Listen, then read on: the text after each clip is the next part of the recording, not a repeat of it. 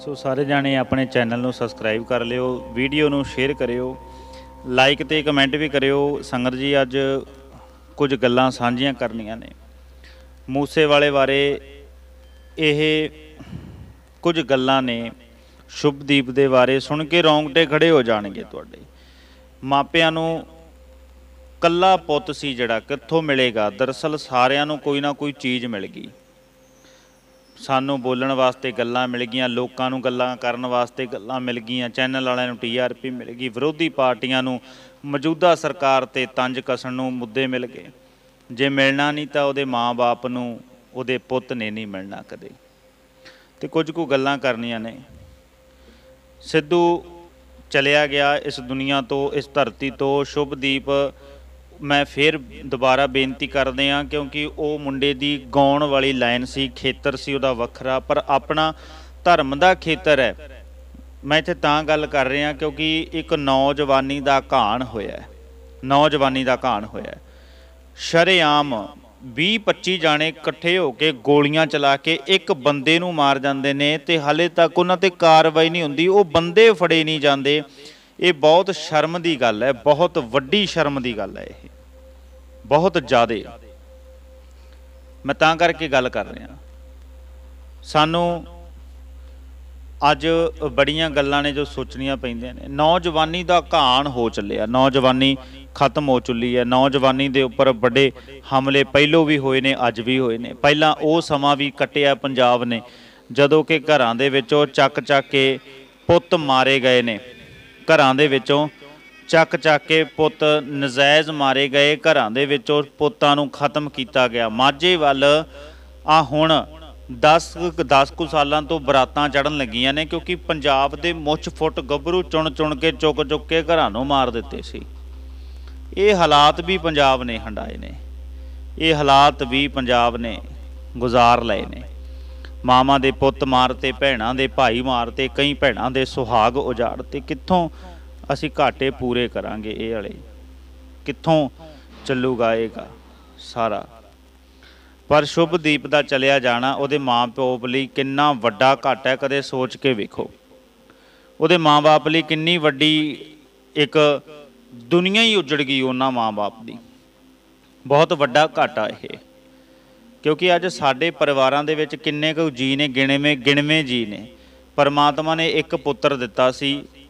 28 ਸਾਲਾਂ ਦੇ ਵਿੱਚ ਉਹ ਪੁੱਤਰ ਦਾ ਚਲਿਆ ਜਾਣਾ ਜਿਹੜੇ ਬਾਪ ਨੇ ਚੜ੍ਹਾਈ ਕਰਨਾ ਹੈ ਤੇ ਉਹਨੂੰ ਪੁੱਤਰ ਨੇ ਅਗਨੀ ਦੇਣੀ ਹੈ ਉਹਦੀ ਚਿਖਾ ਨੂੰ ਅਗਨੀ ਲਾਉਣੀ ਹੈ ਲਾਂਬੂ ਲਾਉਣਾ ਹੈ। ਪਰ ਅੱਜ ਇੱਕ ਨੌਜਵਾਨ ਨੂੰ ਖੁਦ ਇੱਕ ਬਾਪ ਚਿਖਾ ਤੇ ਲਟਾਵੇ ਉਹਦੀ ਅ, ਚਿਖਾ ਨੂੰ ਅਗਨੀ ਦੇਵੇ ਉਸ ਬਾਪ ਲਈ ਇਦੋਂ ਵੱਡਾ ਦੁੱਖਾਂ ਦਾ ਪਹਾੜ ਨਹੀਂ ਹੋ ਸਕਦਾ।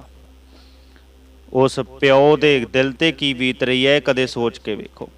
ਉਸ ਪਿਓ ਦੇ ਉੱਪਰ ਕਿਹੋ ਜਿਹਾ ਸਮਾਂ ਚੱਲ ਰਿਹਾ ਹੈ, ਕਦੇ ਸੋਚ ਕੇ ਵੇਖੋ, ਉਸ ਉਸ ਪਿਓ ਨੇ ਕਿਹੋ ਜਿਹੇ ਦੁੱਖ ਨੂੰ ਹੰਡਾਇਆ ਹੋਵੇਗਾ, ਕਦੇ ਸੋਚ ਕੇ ਵੇਖੋ, ਉਸ ਪਿਓ ਦੇ ਮਨ ਦੀ ਦਸ਼ਾ ਦੇਖੋ, ਉਸ ਪਿਓ ਦੇ ਮਨ ਦੀ ਸਥਿਤੀ ਵੇਖੋ, ਕਿਹੋ ਜੀ ਉਹ ਸਥਿਤੀ ਹੋਊਗੀ।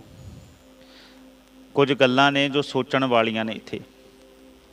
ਇੱਕ ਤੇ ਪਹਿਲੀ ਗੱਲ ਇਹ ਹੈ AN94 ਗਨ ਜਿਹੜੀ ਹੈ, ਰਸ਼ੀਅਨ ਜਾਂ ਰੂਸ ਦੀ ਉਹਨੂੰ ਫੌਜ ਵਰਤਦੀ ਹੈ ਤੇ ਉਹ ਇਨਲੀਗਲ ਤਰੀਕੇ ਨਾਲ ਭਾਰਤ ਆਈ ਭਾਰਤ ਆਈ ਤੇ ਪੰਜਾਬ ਦੇ ਵਿੱਚ ਕਿਵੇਂ ਐਂਟਰ ਹੋ ਗਈ ਤੇ ਉਹਨੂੰ ਚਲਾਉਣ ਵਾਸਤੇ ਸਪੈਸ਼ਲ ਟ੍ਰੇਨਿੰਗ ਚਾਹੀਦੀ ਹੈ। ਜਿਹੜੇ ਹਮਲਾਵਰਾਂ ਨੇ ਹਮਲਾ ਕੀਤਾ ਉਸ ਜਵਾਨ ਦੇ ਉੱਪਰ ਕੀ ਉਹ ਟ੍ਰੇਨਿੰਗ ਬਾਹਰੋਂ ਲੈ ਕੇ ਆਏ ਨੇ ਤੇ ਜਾਂ ਫਿਰ ਉਹਨਾਂ ਨੇ ਪੰਜਾਬ ਦੇ ਵਿੱਚ ਲਈ ਹੈ। ਜੇ ਪੰਜਾਬ ਦੇ ਵਿੱਚ ਟ੍ਰੇਨਿੰਗ ਲਈ ਹੈ ਤੇ ਫਿਰ ਕਿੱਥੇ ਲਈ ਹੈ?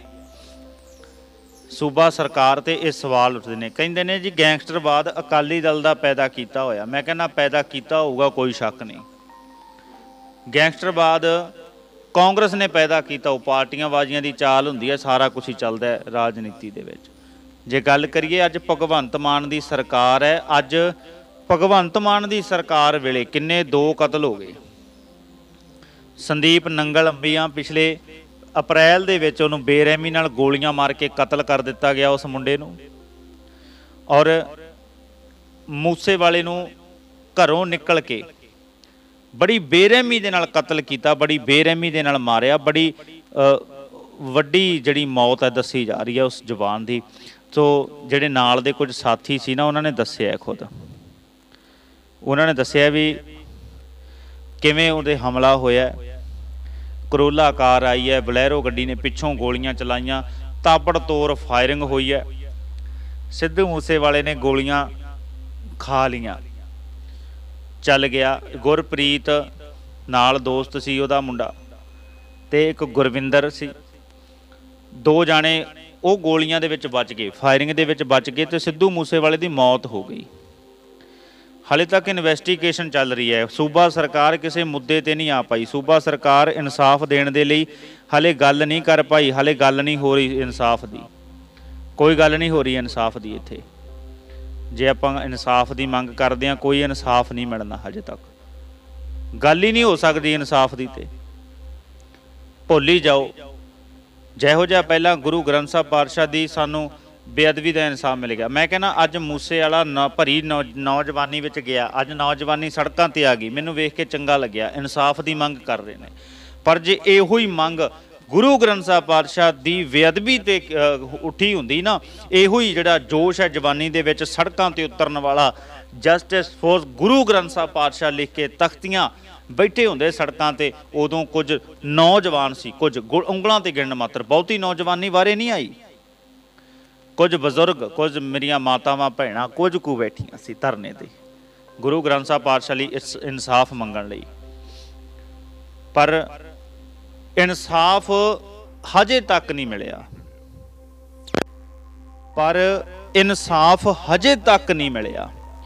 ਗੁਰੂ ਗ੍ਰੰਥ ਸਾਹਿਬ ਪਾਤਸ਼ਾਹ ਦੀ ਹੋਈ ਬੇਅਦਬੀ ਦਾ ਇਨਸਾਫ ਨਹੀਂ ਮਿਲਿਆ ਹਜੇ ਤੱਕ। ਬੜੀ ਸ਼ਰਮ ਦੀ ਗੱਲ ਹੈ 2015 ਦੀ ਬੇਅਦਬੀ ਹੋਈ ਹੋਈ ਹੈ। ਅਕਾਲੀ ਦਲ ਦੀ ਸਰਕਾਰ ਵੇਲੇ ਬੇਅਦਬੀ ਹੋਈ, ਉਦੋਂ ਇਨਸਾਫ ਨਹੀਂ ਮਿਲਿਆ। 2 ਸਾਲ ਫਿਰ ਵੀ ਸਰਕਾਰ ਰਹੀ ਹੈ। ਫਿਰ ਕਿਹੜਾ ਇਨਸਾਫ ਦਿੱਤਾ? ਕਾਂਗਰਸ ਆਈ, ਕੈਪਟਨ ਸਾਹਿਬ ਆਏ, ਉਹਨਾਂ ਨੇ ਇਨਸਾਫ ਨਹੀਂ ਦਿੱਤਾ।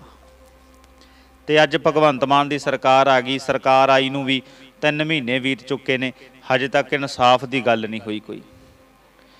ਰਾਜਨੀਤੀ ਲੋਕਾਂ ਦੇ ਵਿਸ਼ਵਾਸ ਨਾ ਕਰਿਓ। ਜਿਹੜਾ ਵਿਸ਼ਵਾਸ ਕਰ ਗਿਆ, ਉਹ ਮਰ ਗਿਆ। ਮੈਂ ਇੱਥੇ ਗੱਲ ਕਰ ਰਿਹਾ।